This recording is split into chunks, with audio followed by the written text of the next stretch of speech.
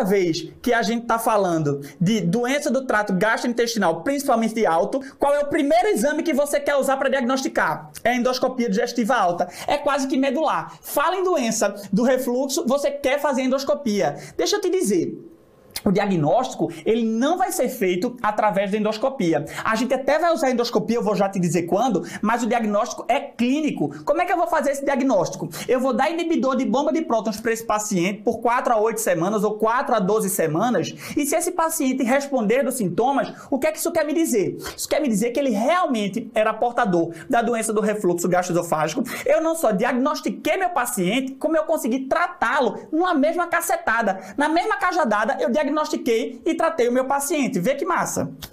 Agora deixa eu te dizer. Eu preciso da endoscopia em alguns casos. Para quê? Para diagnosticar? Não. Eu preciso da endoscopia para excluir complicações. Porque eu vou te dizer, 50% dos pacientes, inclusive, vão ter endoscopia normal, mesmo tendo a doença do refluxo gastroesofágico. E que complicações são essas que eu vou ter que excluir?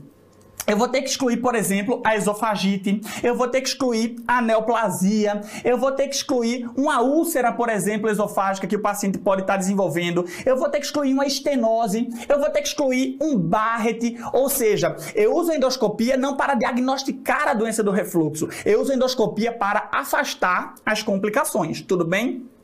Agora, se eu precisasse de um exame padrão ouro para o diagnóstico da doença do refluxo, também não seria endoscopia, porque eu já te disse que endoscopia é para complicação. O padrão ouro, galera, para o diagnóstico da doença do refluxo gastroesofágico é esse aqui, ó. É a pH-metria de 24 horas. O que é isso? A gente vai passar uma sonda no nariz desse paciente até o esôfago. A gente vai fazer através da manometria. Te explico já como é isso. Eu vou achar onde está o esfíncter esofagiano inferior e eu vou colocar 5 centímetros centímetros acima do esfíncter esofagiano inferior o meu eletrodo.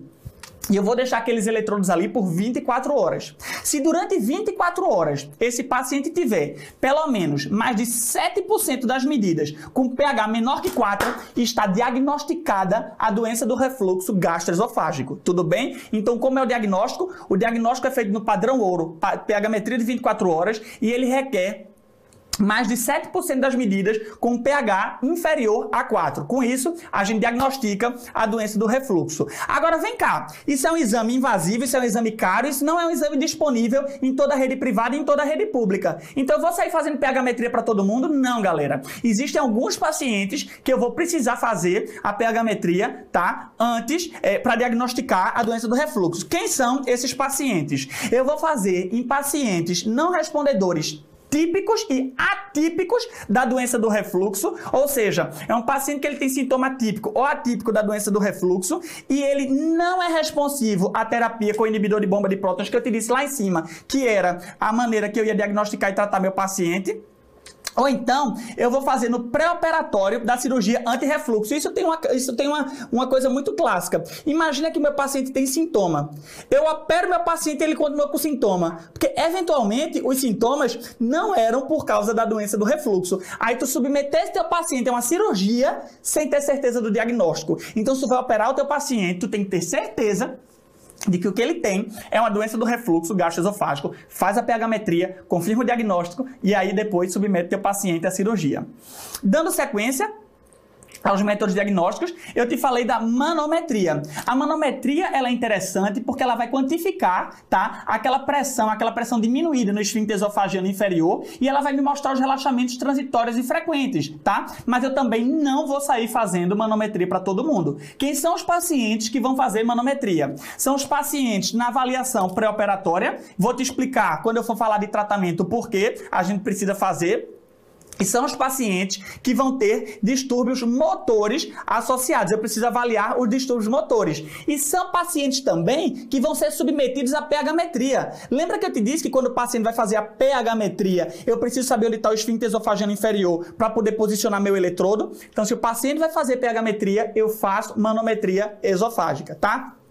Acontece que, quando a gente vai tratar esses pacientes, a gente vai ver daqui a pouco de forma cirúrgica, a gente vai fazer uma válvula, a gente vai confeccionar uma válvula anti-refluxo. E eu preciso saber como é que está a patência desse meu esôfago, como é que está a peristalse desse meu corpo esofágico, para saber que tipo de válvula eu vou confeccionar. Lá em tratamento cirúrgico, eu vou te mostrar isso bem direitinho. Agora, deixa eu te dizer, deixa eu discutir mais um negócio contigo. Antigamente, a gente dizia que a pH-metria era e ainda é o padrão ouro do diagnóstico da doença do refluxo gastroesofágico. Entretanto, há algum tempo já tem uma corrente aí de, de pesquisadores querendo dizer que o melhor exame para a gente diagnosticar a doença do refluxo gastroesofágico não é a pH-metria 24 horas. Seria esse exame que eu coloquei aqui para você. Seria a impedanciometria esofágica. A impedanciometria esofágica tem a ver com a propriedade que os líquidos, que os sólidos e que o ar tem de conduzir a corrente elétrica. Seria mais ou menos assim que esse exame iria atuar. Tu lembra no início da aula quando eu te falei que a doença do refluxo gastroesofágico não é ocasionada somente pelos refluxos ácidos? E se você se lembrar, a pH-metria só está avaliando os refluxos ácidos.